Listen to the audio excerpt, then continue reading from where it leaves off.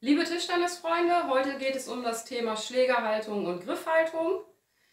Im Allgemeinen wird zwischen zwei Schlägerhaltungen im Tischtennis unterschieden. Das ist zum einen die Penholder-Schlägerhaltung. Die wird so genannt, weil ihr genau so einen Stift anfasst. Auf diese werde ich nicht genau eingehen, weil diese im deutschen bzw. im europäischen Raum gar nicht so verbreitet ist, sondern hauptsächlich in Asien, sprich China, Japan, Korea gespielt wird. Die andere Schlägerhaltung ist die Shake-Hand-Schlägerhaltung. Diese wird so genannt, weil man den Schläger so umfasst, als würde man jemandem die Hand schütteln wollen.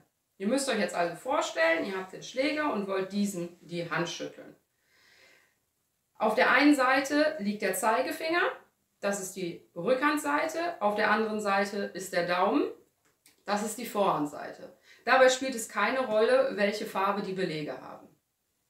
Wichtig dabei, dass ihr den Schläger nicht zu weit oben fasst, weil ihr sonst verkrampft und wenig Handgelenksfreiheit habt. Ihr dürft aber auch den Schläger nicht zu weit unten fassen, weil ihr sonst kaum Kontrolle habt und die Gefahr birgt, dass er euch irgendwann auch mal aus der Hand fliegt.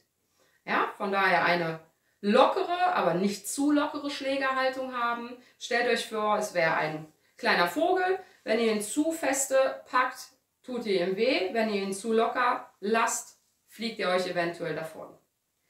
Wichtig dabei, dass ihr den Schläger bzw. die Schlägerkante in Verlängerung des Unterarms lasst. Wenn ihr jetzt das Schlägerblatt etwas zum Daumen neigt, habt ihr einen Vorhandgriff, könnt dann unheimlich gut Vorhand spielen in alle Richtungen. Handgelenksfreiheit ist gegeben. Mit der Rückhand wird es aber schwierig, die Bälle gut und kontrolliert und mit Druck zu spielen. Genauso rum ist es, wenn ihr das Schlägerblatt in Richtung Zeigefinger neigt. Das wäre dann der Rückhandgriff. Könnt ihr unheimlich gut Rückhand spielen, alle möglichen Bälle, Druck ausüben. Mit der Vorhand wird es aber schwierig, vor allem Bälle mit Vorhand parallel zu spielen. Ist fast unmöglich. Also, möglichst auf eine neutrale Griffhaltung achten, dass er nicht zum Daumen oder zum Zeigefinger neigt und eine natürliche Verlängerung des Unterarms haben.